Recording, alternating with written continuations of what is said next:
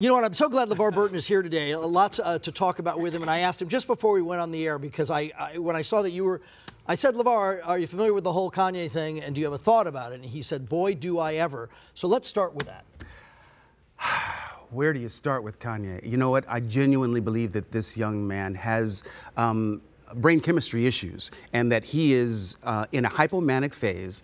I'm not a psychiatrist, I'm not a psychologist, but I've seen this behavior and I know it fairly intimately well. I just think that somebody in Kanye's camp, if there is somebody in Kanye's camp, needs to put their arms around him and, and, and, and have him sit the hell down for five minutes until his brain chemistry levels out because he's not helping himself right now. We uh, associate a work that you're deeply associated with roots. So when Kanye West says that slavery was a choice, I've got an issue with that. It's irresponsible. It is uneducated. It's just stupid. And Kanye has gone on record as saying that he doesn't read books, but you don't, Kanye, need to put out misinformation like that. There are too many people who listen to you and take what you say as valuable and truth.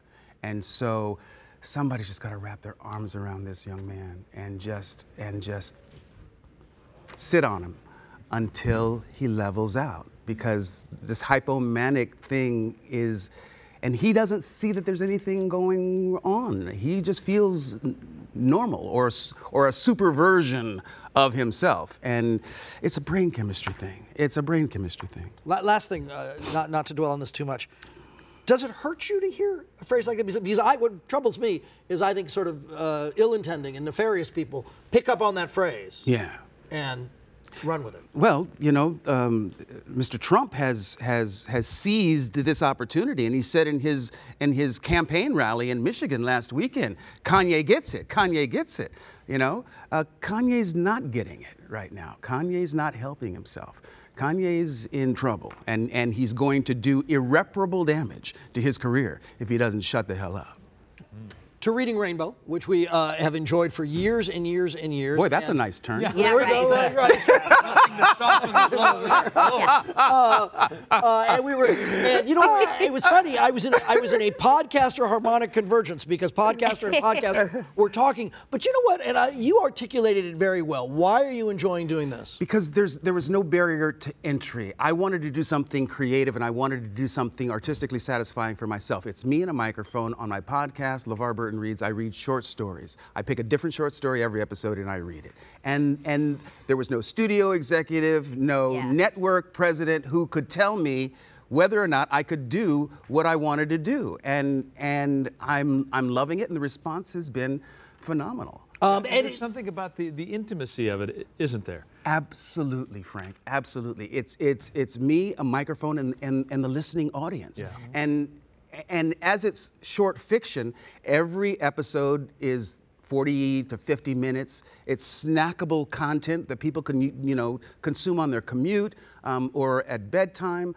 Um, and it is, it's a very intimate relationship with the listening audience because, you know, you're, you're, you're feeding the imagination. Yeah. It's theater of the mind. Yeah. Right? And when you, when you do these, and because you have this tremendous ability, is it actor LeVar Burton? Absolutely. Mm. Um, I'm playing all the parts. I'm I'm doing voices. I'm you know, and and and I'm bringing 40 plus years of storytelling skills to the exercise of reading a story aloud. Uh, uh, tonight, I mean, and I'm on tour. I'm doing a little a, right, and, and now the a tour, live, please. a live, a, yeah. live, a live tour. We've we've picked a few cities to sort of test out this tour idea.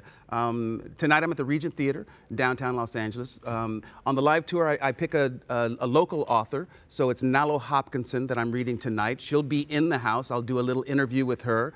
Every story has a live musical accompanist, Ooh. and tonight it's Justin Thomas, who's a vib vibraphone player, a, a vibes player.